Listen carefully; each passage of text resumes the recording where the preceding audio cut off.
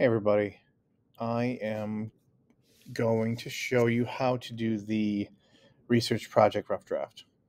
Okay, um, this video is for people that are pretty much done with their note, or actually not pretty much, but done with their notes and ready to move forward. Um, so go ahead and watch this. I'm going to give you some tips and tricks on how to complete this. All right. Now, the first thing to note is that each of the categories for the outline is going to be its own paragraph, with the exception of the culture.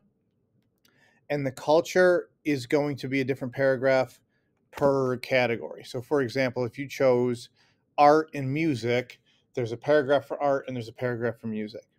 Okay. So, all in, you guys I haven't talked about the the conclusion yet, and we'll do that all together as a class.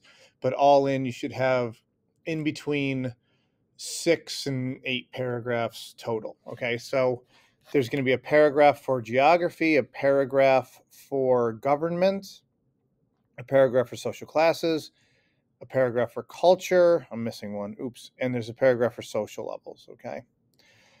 So going over to our example here, um, the first thing you're going to want to put is the out or the heading. Okay, so it's your name, my name, the date the assignment is due. Okay, so you're not going to want to put the date that you worked on it. It's the date the assignment's due, and the rough draft is due on the um, 26th of May. All right, and then very simply the title of the project, which is research project. Um, second thing is your introduction is just about geography. Okay. So all of those geography facts, so continent, hemispheres, major landforms, time period the civilization thrived, all of that is going to end up in your paragraph for um, geography, and that's the introduction. Okay. You don't need to um, add too much else to it. Uh, and I've always said in social studies, you can't talk about a civilization unless you know where the civilization was in the geography first. So that very first paragraph is going to be geography, and just make sure that you are um, going back and forth between your outline and, uh, and, and your new file, and making sure that you have all the information. Um, second paragraph is food supply. Like I said, uh, next paragraph is government. Next paragraph after that is social classes. And then the example here, you're going to see um, culture. So there's a paragraph for artwork, a paragraph for religion, um, and then the conclusion, which we'll talk about later. Don't worry about that right now. All right. So here's some important things. First of all, you're going to want to make sure that you are taking the facts from your outline and putting them in complete sentences into paragraphs that are readable and have a nice flow to them. Don't just plug the information in. You know, you can't just say Europe, Northeast Hemisphere, 1400 BC. Make sure that every fact is connected to a complete sentence, and then those complete sentences are put together for a paragraph.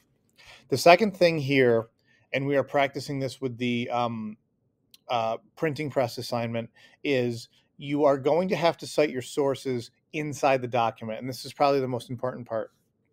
Um, each and every fact that you use from your research needs to be in the outline and it needs to be connected to the source. So, right here, you're going to see Harappa had many important landforms, such as the Indus River and the Himalayan mountains. And then in parentheses is historical India. Historical India, over on the example for um, the outline, is a book where this person got their information from.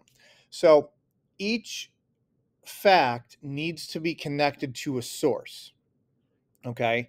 Um, this person also got a lot of information from the ancient world. And if you go back through here, you're going to see that the ancient world is cited as well. So the way you want to structure your sentences is you take the fact and then before you finish the sentence in parentheses you're going to put the title of the book or website. Okay? That's how you cite sources. Um, another thing to note is that the citation is part of the sentence and therefore the period goes after it.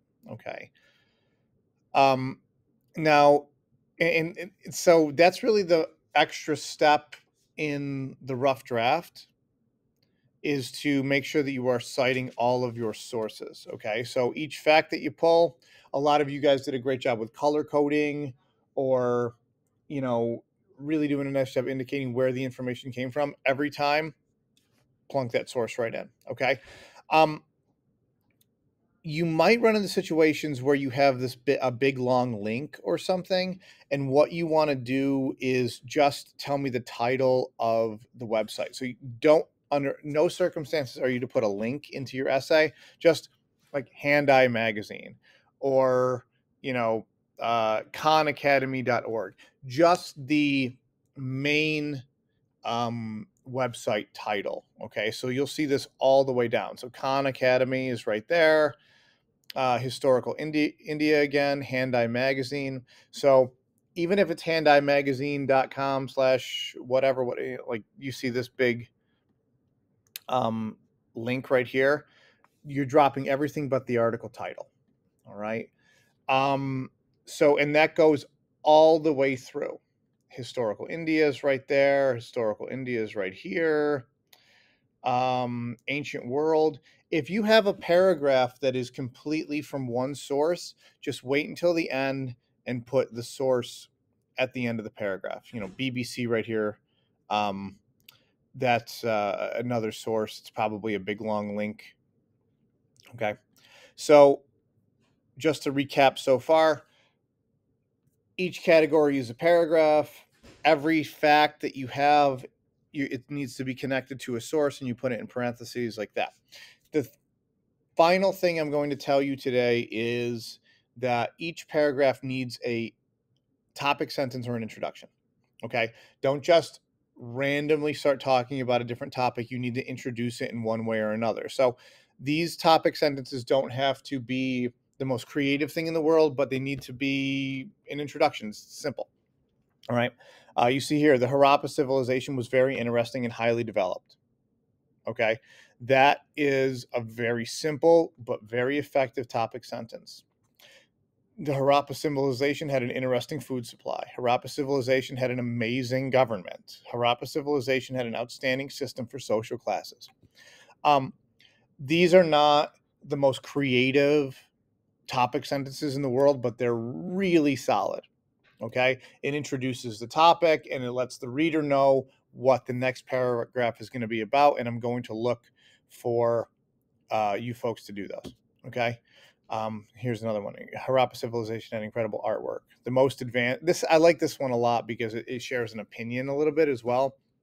The most advanced aspect of Harappa civilization was their religion. Okay, um, so uh, topic sentences there. Just to recap, all the information from your outline needs to go into uh, paragraph form. Every time you pull information from the internet and it came from a specific place, whether it's a book or a website, it needs to be cited in parentheses.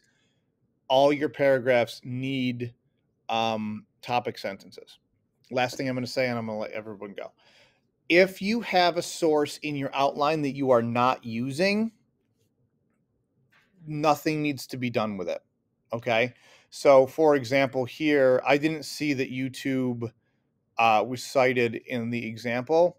Um, they dropped it. So you might run into a situation where you have a source that you're not using and you don't have to put it anywhere, just ignore it. Okay. You only cite the things that you actually use in the essay. All right. Um, so this is again just a video for people that are a little ahead and wanna wanna move forward.